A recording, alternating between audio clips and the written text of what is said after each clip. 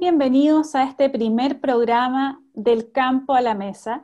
Este es un programa que se va a realizar cada semana a través de la Sociedad Agrícola del Norte junto a los diarios comunales, como una forma así de mostrar el trabajo de la agricultura en las diversas provincias de nuestra región, donde vamos a conversar sobre las problemáticas y también vamos a educar en algunas materias interesantes para nuestro gremio. En cada programa vamos a tener dos a tres invitados porque la agricultura no para por ti. Así es que hoy día le queremos dar la bienvenida a nuestra primera invitada, que es la presidenta de la Sociedad Agrícola del Norte, María Inés Figari, con quien vamos a conversar sobre las gestiones de la agricultura y la pandemia y los desafíos a mediano plazo. Bueno, y para nuestro primer bloque tenemos a nuestra principal invitada, nuestra querida presidenta de la Sociedad Agrícola del Norte, la señora María Inés Figari, con una larga trayectoria, no solamente en el ámbito agrícola, sino que en lo social, en el trabajo día a día en terreno, con las comunidades rurales, con todo lo que tiene que ver vinculado a la agricultura. Y no solamente es presidenta de la Sociedad Agrícola del Norte, sino que además es directora de la Sociedad Nacional de Agricultura y además también directora de Fede Fruta. Actualmente es vicepresidenta de la multigremial, donde también ha estado trabajando fuertemente en todo lo que es y lo que son las necesidades de la región de Coquimbo. Así es que estamos muy contentos y cómo no íbamos a abrir nuestro primer capítulo de la mesa al campo, del campo a la mesa, como nosotros le decimos, porque ella es la que lidera esta bandera de lucha y para mí es un honor poder trabajar con ella, que no solo es mi jefa y mi presidenta, sino que es una gran persona. Así que muy bienvenida, señora María Inés, un gusto tenerla acá en este desafío que estamos generando como Sociedad Agrícola del Norte para que todas las personas puedan saber de lo que estamos trabajando, haciendo y cómo nos vamos vinculando en el campo. Gracias, Dani, pero yo puedo decir lo mismo de ti. Para mí es un orgullo tener una persona tan especial como eres tú, trabajando codo a codo conmigo en todo lo que nos va dando la vida en realidad, porque eh, ya ni siquiera se planifica uno, todo va saliendo de una forma que ni siquiera la teníamos pensada. Pero aquí estamos, aquí estamos, yo sé de tu amor por el campo, el mismo que tengo yo, Así que encantada que sea esta la primera entrevista. Gracias. No, gracias a usted por darnos eh, este espacio de tiempo que sabemos que está llena de reuniones constantemente, pero que han dado buenos frutos. Y en ese sentido, partir por algo que sabemos que nos ha tocado a todos los corazones y, y el cambio la adaptación de esta nueva vida. Y queremos saber cómo ha enfrentado el gremio agrícola este desafío del COVID que nos cuenta un poquito las medidas que se han ido aplicando, el trabajo que esto ha ido desarrollando y eh, todo lo que tiene que ver con este tema del campo. Bueno, mira, eh, la pandemia llegó en un minuto cuando estaban los campos con su fruta en los árboles, todo esperando. Yo creo que para todos fue una tremenda, tremenda sorpresa de ver lo grave que significa tener esta pandemia en Chile. Bueno, el resto ya todos lo conocemos, estamos todos encerrados, pero gracias a Dios, el ministro de Agricultura tuvo la visión de a los pocos días de hacer el trámite para que la agricultura quedara como actividad básica. Eso fue un acierto grande del Ministerio de Agricultura y de esa forma nunca se impidió que pudieran salir los productos, las frutas, las verduras. Entonces, eh, yo creo que esa suerte no la contamos dos veces porque no a todos les ha pasado lo que la oportunidad que hemos tenido nosotros. Pero a continuación viene también la preocupación cuando empiezan a llegar personas de otras regiones contagiadas a contagiar a nuestro personal en los campos. Bueno, lo primero que hicimos fue crear un WhatsApp con todos los que estaban en ese minuto en cosecha de cítricos especialmente, y de esa forma fuimos transmitiendo y fuimos pidiendo el máximo de preocupación que fuera las personas antes que las cosechas. Se cumplió, se cumplió rigurosamente, pero nosotros estábamos lejos de poder controlar lo que pasaba con el tránsito de personas de una región a la otra.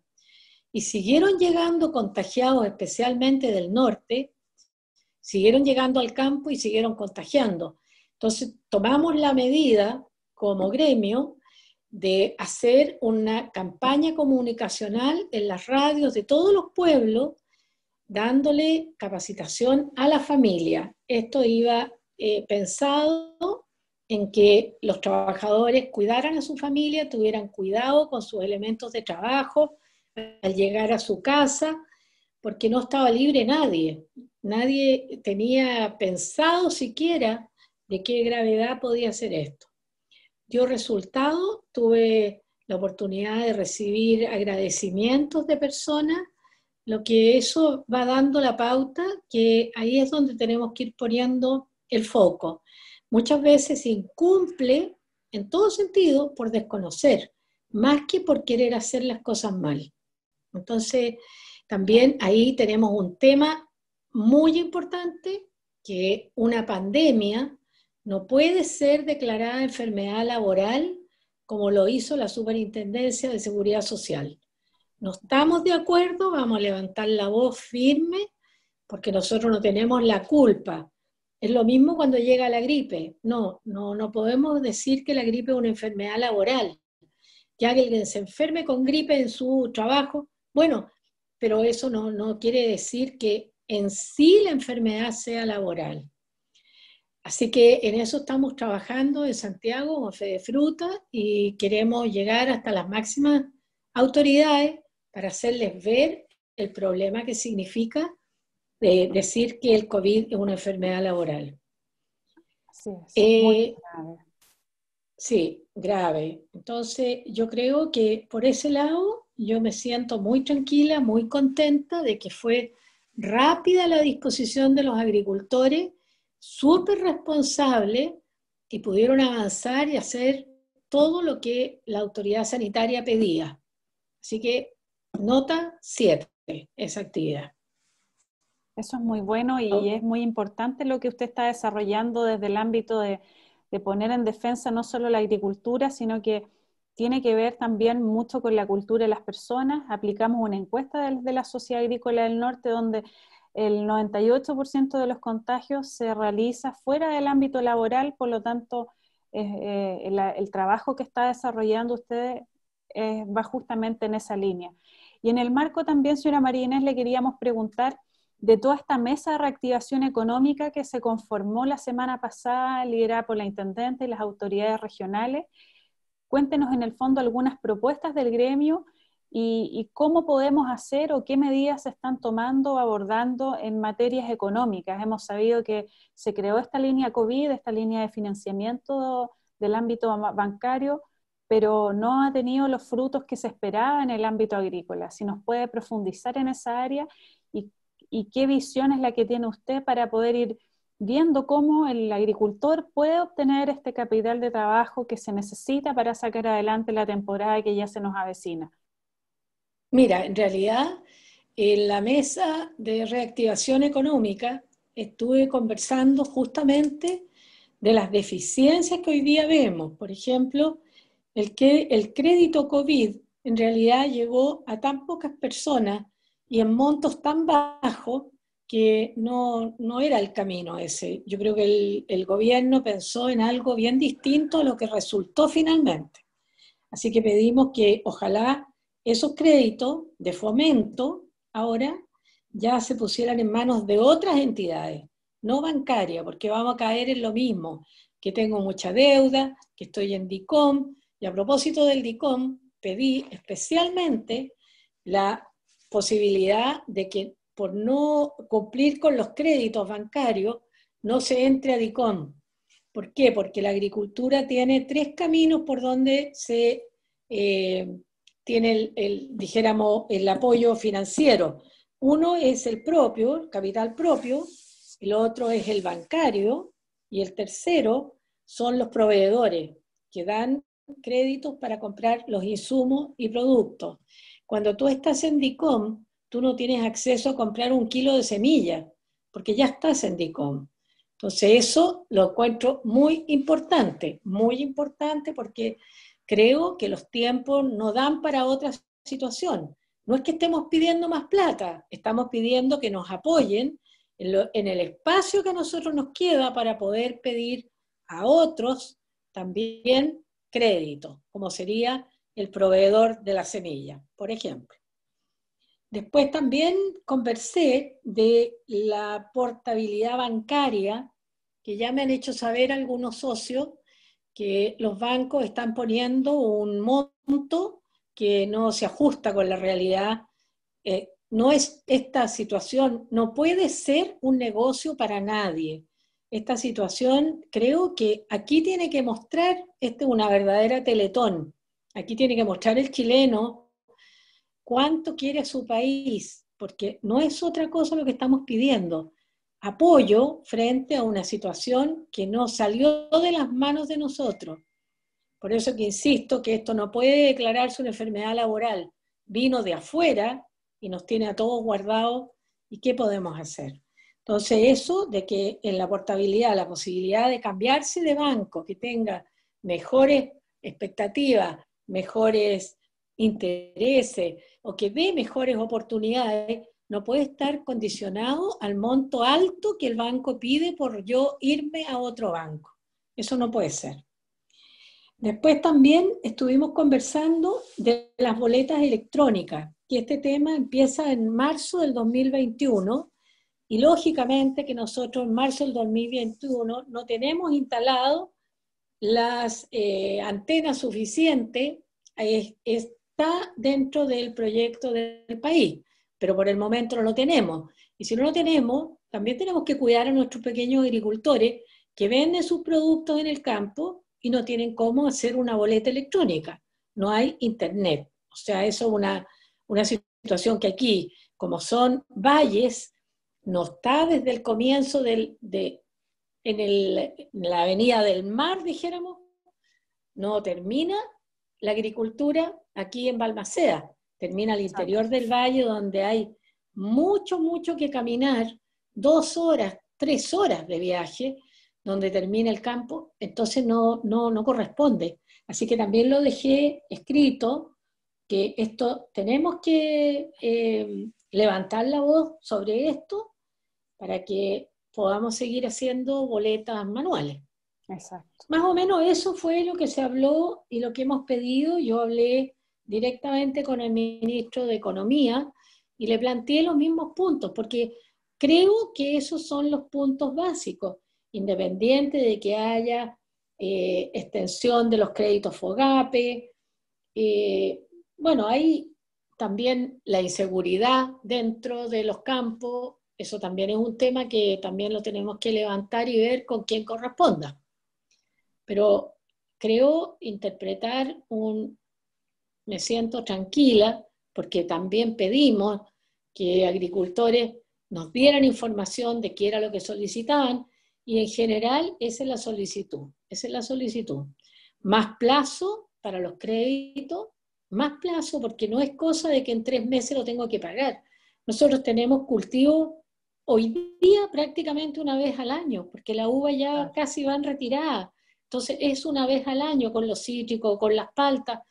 No podemos fijar en tres meses me devuelve el, el préstamo. No puede ser, tiene que estar de acuerdo a la actividad que nosotros estamos manejando. Sí, hay tanto tema por conversar, así que de todas maneras vamos a seguir siempre contactando a la zona marinés para que nos cuente en el programa que ha hoy día la Sociedad Agrícola del Norte impulsado para que justamente vayamos conversando estos temas, pero no quería dejarle de preguntar también en todas estas gestiones que está realizando usted como presidenta del gremio, tomando en consideración a todos los socios, los agricultores que la están llamando constantemente, contarle también, no todo es tragedia, sino que a través de esta pandemia se generó un gran logro. Este logro que se impulsó desde la Sociedad Agrícola del Norte, que fue la solicitud de suspensión de la hora punta. Eh, fue una medida que el gobierno implementó en los primeros meses, pero que lamentablemente en julio quedó stand-by, pero después por las reuniones que se sostuvo con el ministro de Energía se logró este punto. Cuéntenos el desarrollo de esto y la importancia que tiene la hora punta que muchas personas no lo conocen.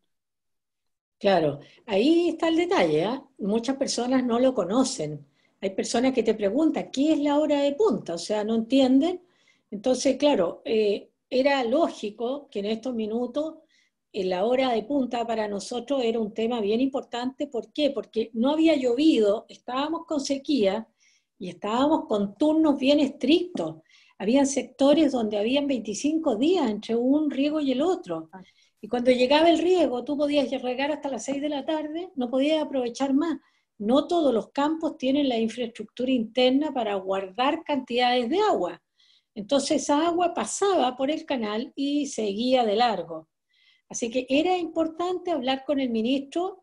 Tuvimos la gran ayuda de José Moreno, ex vicepresidente de la Sociedad Agrícola, que él había trabajado en las empresas eléctricas y sabía bien de qué se trataba esto. Entonces, al apoyarnos él con el conocimiento, eso le dio mucha fuerza a lo que planteamos y lógicamente que finalmente conseguimos que saliera adelante y se consiguió que se suspendiera la hora punta para agosto y septiembre. Así que logro. Eso indica que yo hago una invitación a todos. Mientras más unidos estemos, mientras más unidos estemos, nosotros estamos escuchándolos a todos, chicos, grandes, a todos los agricultores, en sus necesidades. Estoy segura que hoy día que digo esto de la enfermedad laboral, estoy segura que muchas personas van a abrir los ojos y van a poner atención en algo que no habían puesto atención. Entonces, todo eso es lo que hace cuando la gente se une y va por una misma causa, el campo. Exactamente, y así usted lo ha dicho, el tema del campo los ha unido y tal vez va la gente aprendiendo de estos temas tan desconocidos como es el tema de la hora punta, los turnos de agua, ahora lo que usted comentaba de la inseguridad. Todos esos temas son muy elocuentes tal vez en el ámbito agrícola, pero no todas las personas lo conocen o tampoco los pequeños agricultores. Así que es una gran labor, señora Marine, eh, en la que usted está desarrollando y también la invito a, que pueda expresar no solamente estas gestiones que podríamos conversar mucho tiempo de eso, sino que un mensaje desde usted como agricultora, como persona, como mujer, además también que está nominada también a un premio de la mujer, porque lo merece, porque usted es una representante no solo del ámbito agrícola, sino que también de eh, las mujeres, que es un rubro bastante machista a veces, pero que ha usted ido rompiendo barreras. Así que déjenos también este mensaje de, cómo continuar, cómo seguir y, así el agricultor pueda sentirse apoyado y orientado por usted. Le abro aquí las puertas de esta tecnología a través de todos estos mecanismos que hoy día nos permite mantenernos conectados y va a ser una forma de que podamos entregar ese mensaje. Mira, la verdad que eh, yo creo que en, los malos tiempos hay que tener como nunca la fe puesta en el cielo. Mucha esperanza, les deseo a todos mucha suerte, pero también tenemos que ser optimistas. Yo siempre he pensado que el pesimismo trae, atrae cosas malas. Y en esta oportunidad nosotros hemos estado bendecidos por tantas buenas cosas, como por ejemplo no haber parado el trabajo. Tenemos que mirar para el lado y ver qué ha pasado con el turismo. Todos los hoteles cerrados, todos los restaurantes cerrados. Nosotros hemos tenido la suerte de poder seguir trabajando. Entonces, mi mensaje es, hagamos las cosas bien, porque los mercados van a estar seguramente muy atentos a cómo se trabaja. La inocuidad alimentaria hoy día cumple doble propósito sí, ha sido siempre un norte, ¿no es cierto?, que nos hemos propuesto y aquí la región tiene las condiciones para que nuestros productos sean sanos. Pero hoy día se suma la manipulación de todos estos productos. Así que mi llamado es hacerlo de la mejor manera posible para que incluso podamos distinguirnos como con un sello regional, que en esta región se trabaja muy bien, limpio y sano. Muchas gracias, señora María Inés. Sin duda nos quedan muchas cosas por conversar. De todas maneras, este va a ser un programa que va a ir una vez a la semana para que los agricultores conozcan en qué está la Sociedad Agrícola del Norte, se vayan informando de estos temas. Después esperemos tener a personas en el materias de seguridad que tanto nos han eh, preguntado sobre eso, cómo poder prevenir, cómo poder trabajar en conjunto y en unidad, así que la queremos dejar invitada de todas maneras a un próximo programa, agradecerle su tiempo, su disposición y su gran trabajo para que la agricultura siga manteniéndose en nuestra región. Muchas gracias. Muchas gracias, Daniela. Mira, ah, me olvidé de agregar que estamos haciendo un trabajo con el Ministerio de la Mujer por la CPC de, Chile, me pidieron que participara en un programa de violencia intrafamiliar. Y ese programa va a ser, o sea, ese proyecto es muy interesante porque tiene mucho que ver con todo lo que se ha vivido. ¿ya? Mm. Muchas veces la violencia está tan escondida dentro de la casa y sale hacia afuera, porque muchas veces las personas son víctimas de violencia y salen hacia afuera a manifestarla porque dentro de sus propias casas no lo pueden hacer. Así que este es un tema, es un tema muy importante, pero también como sociedad agrícola no podemos hacernos a un lado de este tema, especialmente en los campos donde hay poca posibilidad de ir inmediatamente, donde hay que ir, no hay profesionales que apoyen estos dolores, entonces ahí tenemos que estar. Y ahí quiero invitar a todos los agricultores que estemos atentos cuando salga este proyecto, porque quisiera involucrar, involucrarlos a todos, que seamos una sola voz, cómo podemos ayudar desde nuestros trabajos a que Chile deje de ser violento. Muy buen mensaje, así que con ese mensaje la despedimos para seguir adelante el trabajo que se está desarrollando no solo en el ámbito social, sino que también en todas estas gestiones y todo el apoyo social que ha entregado la Sociedad Agrícola del Norte también a todas las mujeres y familias vulnerables de la región a través del trabajo que ha ido desarrollando la señora Marínez en el territorio. Así que muchas gracias y hasta una próxima oportunidad y continuamos con el próximo bloque. Muchas gracias, Dani. Que pasen muy bien y que esto te deseo el mejor de los éxitos para este proyecto. Gracias. Recomendaciones de seguridad para prevenir el contagio por COVID-19 en la agricultura familiar. Si estará trabajando en la finca con otras personas, mantenga la distancia de seguridad de 2 metros. Hágalo también durante el descanso. Asegúrese de tener elementos de protección personal. Cúbrase con mascarilla. Evite tocarse nariz, ojos y boca. No salude de manos. Recuerde lavarse las manos con agua y jabón o gel alcoholado. Hágalo repetidamente. No comparta equipos de protección, botes con agua, ni cubiertos y otros objetos personales. Si es posible, evite compartir herramientas. Desinféctelas antes y después de su uso. Si recibe insumos agropecuarios, mantenga la distancia de seguridad y desinfecte los empaques. Cuando se dirija a centros de acopio o venta, extreme las medidas de protección personal. Trate de llevar sus propias bolsas y carretas. Desinfecte las de uso común. Al volver a casa, quítese y desinfecte los zapatos. Meta toda la ropa y accesorios en una bolsa para lavar. Deseche el material de protección personal en un cubo separado. Por último, dúchese o lave todas las partes expuestas con agua y jabón. Si usted o algún miembro de la familia presenta síntomas tales como fiebre, tos seca, dolor de garganta, dificultad para respirar, cansancio o debilidad, comuníquese inmediatamente con el servicio de salud y extreme precauciones. Proteger nuestra salud para poder producir alimentos saludables está en nuestras manos. OIRSA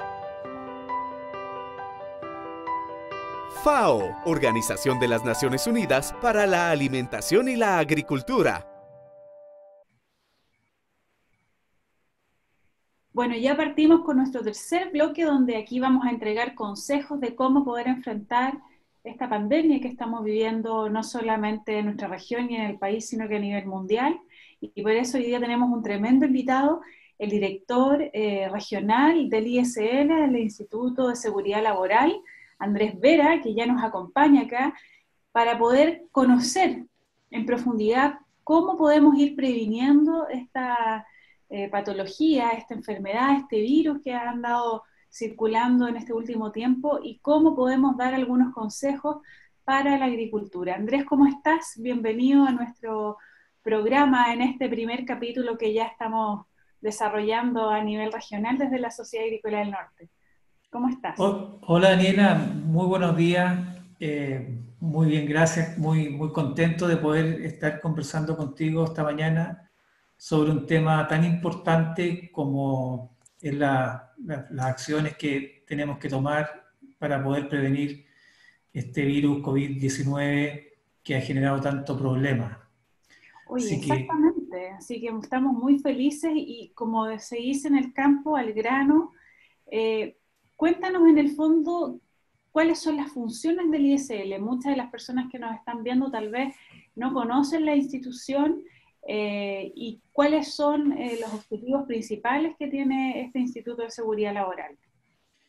Bueno, el Instituto de Seguridad Laboral, eh, señalar en, primer término que es un, un, organismo de, un órgano del Estado, una institución pública, y, es, y su misión es administrar el seguro contra accidentes laborales y enfermedades profesionales la ley 16.744.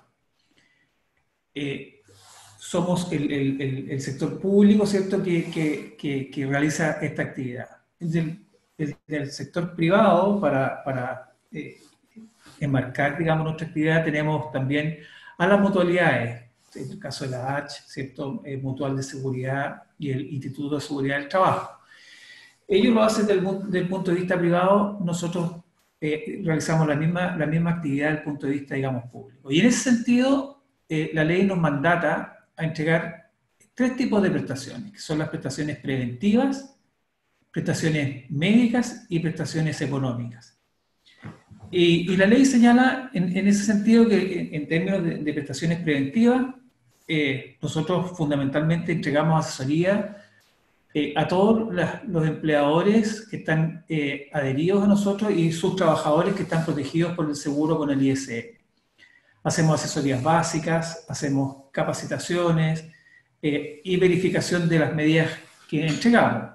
junto con ello hacemos evaluaciones en terreno de trabajadores que están expuestos a, a, ruido, trabajadores que están expuestos a contaminantes como sílice, en el sector agrícola a trabajadores que están expuestos a aplicación de, de plaguicida.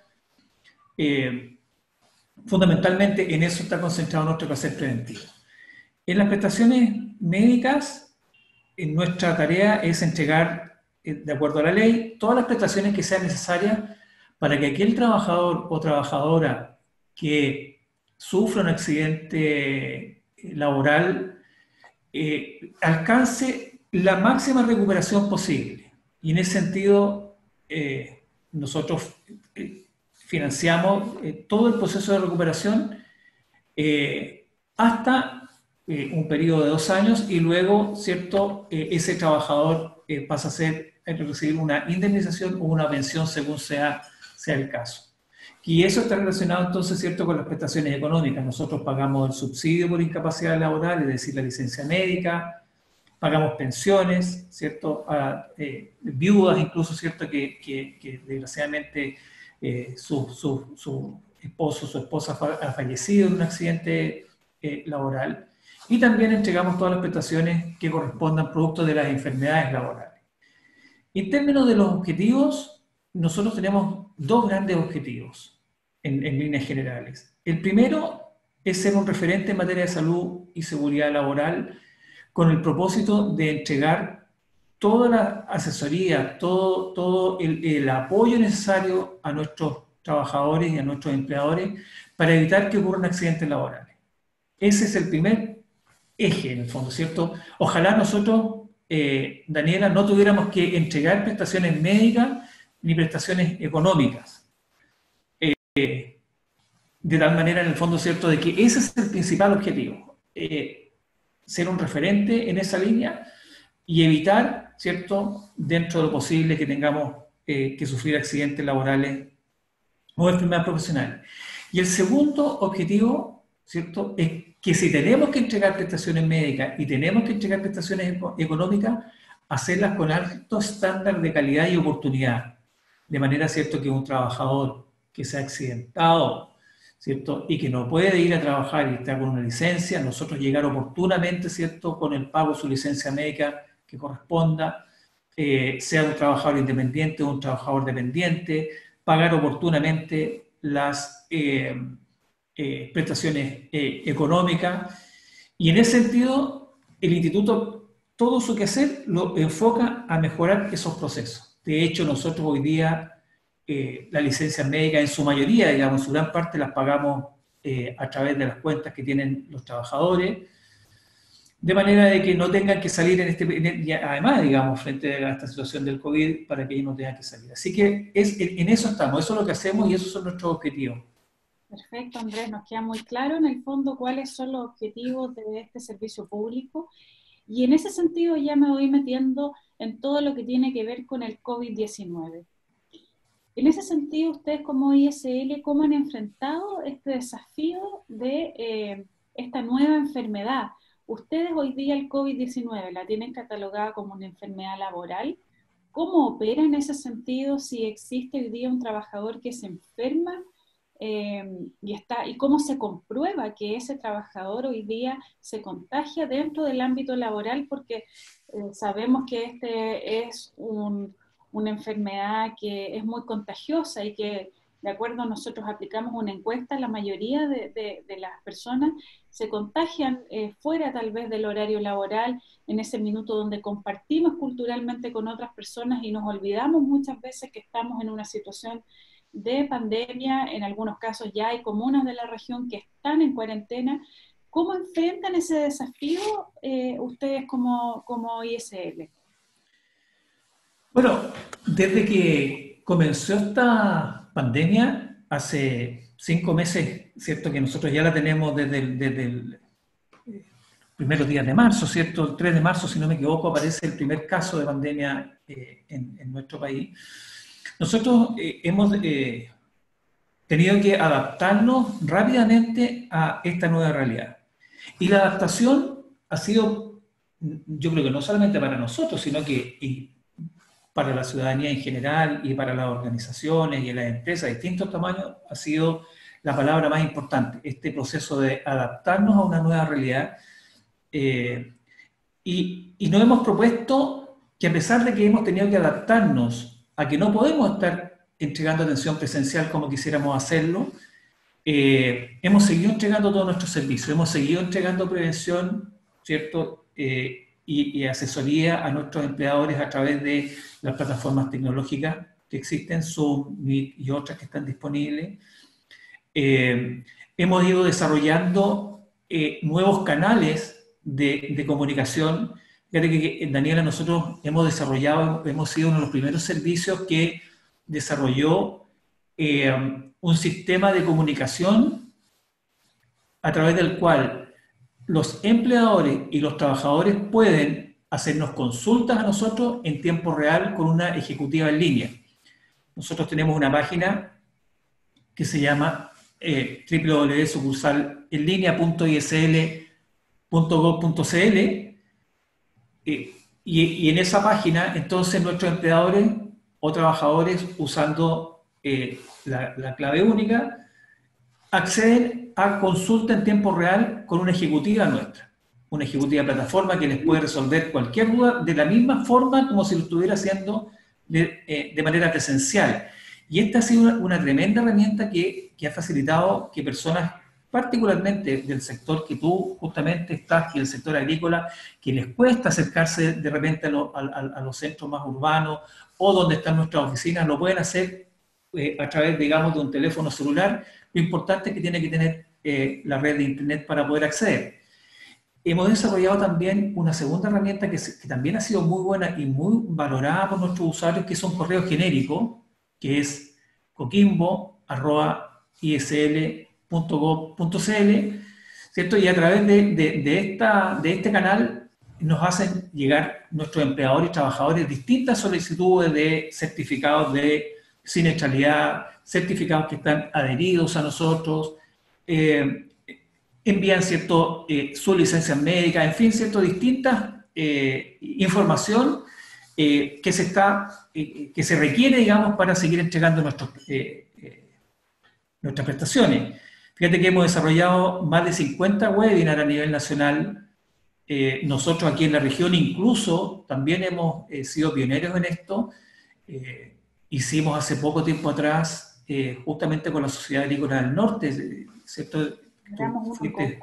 Eh, justamente una de las personas que impulsó este, este proyecto eh, y que se, se, desarrolló, digamos, de muy, muy, buena manera. Tuvimos una alta convocatoria eh, y entregamos medidas de prevención de riesgo frente a COVID, entregamos los, los, protocolos ¿cierto? de actuación, entregamos medidas para riesgos psicosociales y eso lo, hemos seguido haciendo. Hemos desarrollado cursos a través de Zoom con nuestros prevencionistas, eh, de manera que estamos muy activos a pesar de que no podemos estar en terreno usando esta, la, tecnología disponible. Como digo, una palabra que para nosotros ha sido central es la adaptación. No, no, no, el ISL dado, digamos, eh, el mandato que tiene, que es trabajar por la salud y la seguridad de los trabajadores, no nos podemos quedar eh, argumentando, ¿cierto?, de que no podemos salir, etcétera. De manera que hemos seguido entregando nuestras prestaciones eh, a los trabajadores y trabajadoras que están protegidos por el Instituto de Seguridad Laboral. Y en ese sentido, ¿cuáles serían un poco las recomendaciones? Porque a través de estos webinars, hace unas semanas atrás, hicimos un trabajo con todas las mutualidades de la región, eh, nos apoyamos en el aspecto psicológico también, que tiene que ver en el marco de, de todo lo que estamos viviendo como pandemia. Eh, en, base a todo eso, a todo lo que tú has eh, escuchado, trabajado y orientado, ¿cuáles serían las principales recomendaciones para evitar los contagios? Sabemos que no eres el CEREMI de salud, sin embargo, también hay un tema muy importante que tiene que ver con eh, el ámbito laboral. Yo, en lo personal, he visto que lo más importante es poder mantener la distancia, sus equipos de protección personal indicados por la autoridad. Sin embargo, también se hace el llamado a que las personas ojalá cuando estén en los horarios eh, libres eh, no se generen eh, esos lazos, esos lazos afectivos que es innato que se genere en un ambiente laboral. Sin embargo, la distancia es sumamente importante. Hemos visto que la mayoría de los casos no se generan en el ámbito laboral. Nosotros como el sector agrícola estamos preocupados para que estos protocolos se vayan incorporando en el día a día. Estamos trabajando para esta difusión pero tú, eh, como director, ¿cuáles serían las principales recomendaciones para el sector agrícola en este ámbito? Eh, lo voy a señalar en, dos partes. La primera tiene que ver con, las medidas preventivas en, los lugares de trabajo. Y como tú bien señalas, eh, el, COVID es un, un virus, ¿cierto?, que se transmite eh, pero que podemos evitar el contagio en la medida, ¿cierto?, que yo use mascarilla, primera cosa, que yo use mascarilla.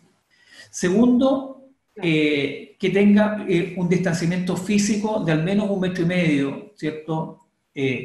Un, metro, ¿cierto? Incluso señala el mensal hoy día como una medida mínima de distanciamiento con otra persona.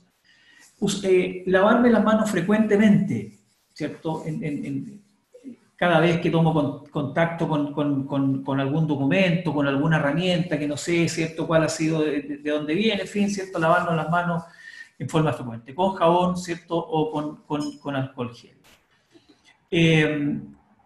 Desinfectar los lugares de trabajo, eh, un, aseo permanente, un programa, ¿cierto?, eh, cada 20, 30, 40 minutos, dependiendo, ¿cierto?, de los niveles de, contagio.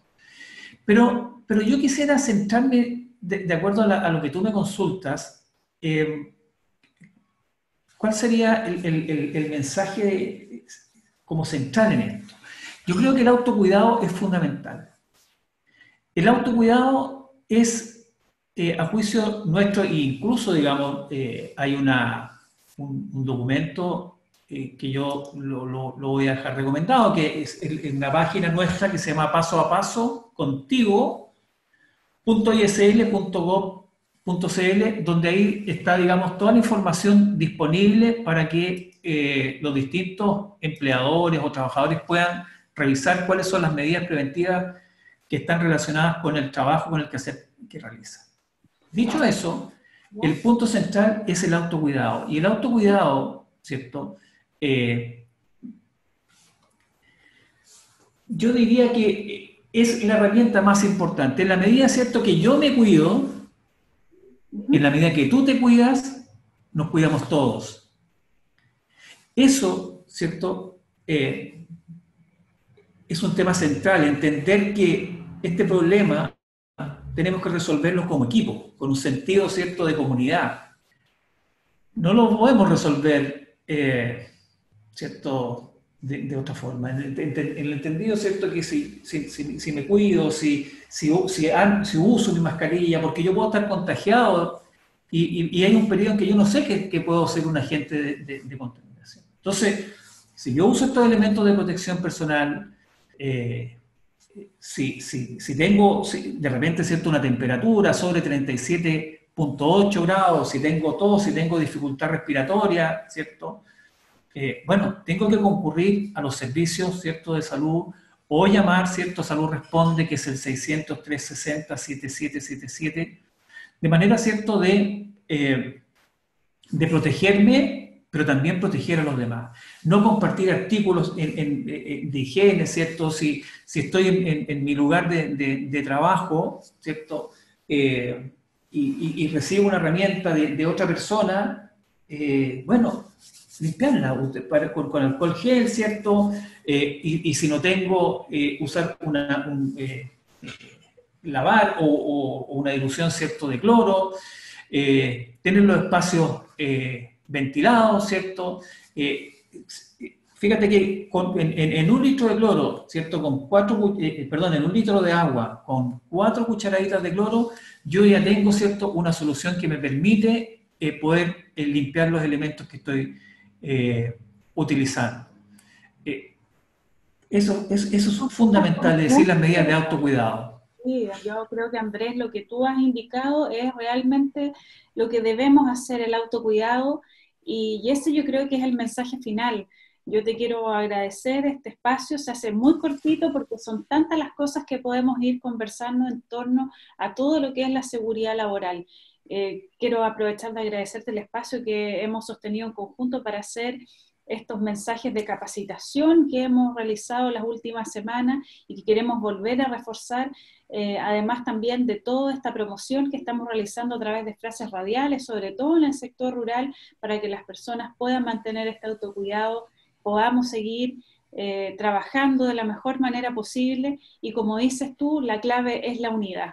Nosotros aquí somos todos un equipo que en conjunto, aplicando toda esta serie de medidas, que nos ha indicado la autoridad sanitaria, eh, podamos seguir eh, adelante y entre todos combatir el coronavirus. Así que te quiero agradecer, Andrés, tus minutos tan relevantes, ya dejaste todos los contactos, eh, los correos electrónicos, la manera de cómo poder hacer una solicitud formal y, sin estar presente, sino que a través de la tecnología. Así que te quiero agradecer y despedirte con este gran abrazo virtual y permitir que próximamente nos volvamos a encontrar.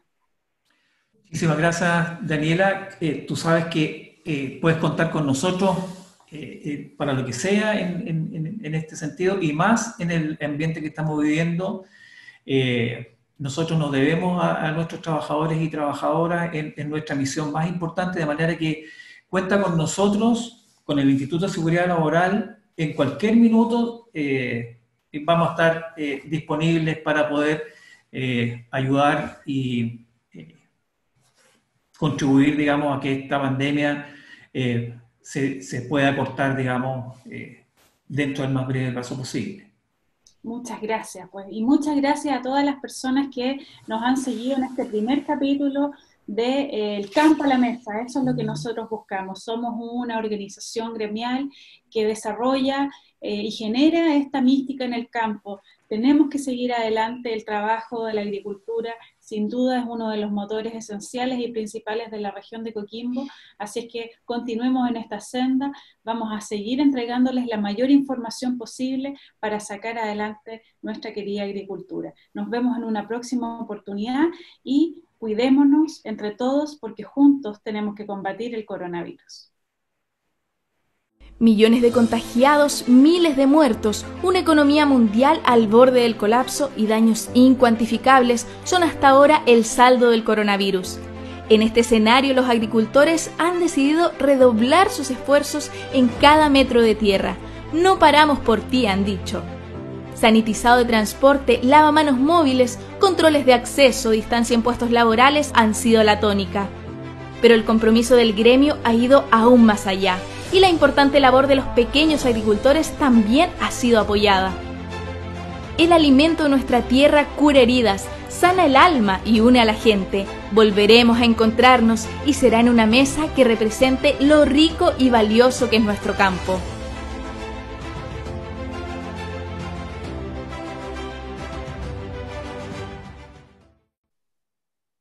Bueno, y con estos dos invitados damos por finalizado este primer programa del Campo a la Mesa que se va a realizar para ustedes junto a la Sociedad Agrícola del Norte a través de las redes sociales y de los diferentes diarios comunales de nuestra región de Coquimbo. Para la próxima semana vamos a estar con nuevos invitados y recordemos siempre las recomendaciones para evitar la propagación del coronavirus. Recuerden que la agricultura no para por ti.